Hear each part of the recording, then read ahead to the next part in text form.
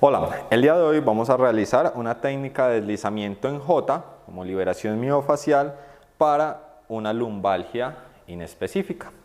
Para esto, entonces, vamos a palpar la zona de nuestra paciente, vamos a identificar las adherencias que encontremos, vamos a sostener la región dorsal con una mano y con la que vamos a realizar la técnica podemos realizarlo con un dedo sobre el otro o con el nudillo, podemos realizar la técnica.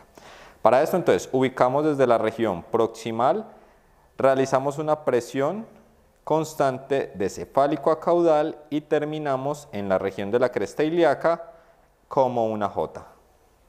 Lo podemos realizar con el nudillo. Vamos de proximal a distal, deslizamiento y presión constante y a nivel de la cresta ilíaca terminamos en J. Lo podemos repetir de 12 a 15 veces en esta zona. Y vamos identificando que van mejorando las adherencias en el tejido. Es normal que encontremos hiperemia con esta técnica.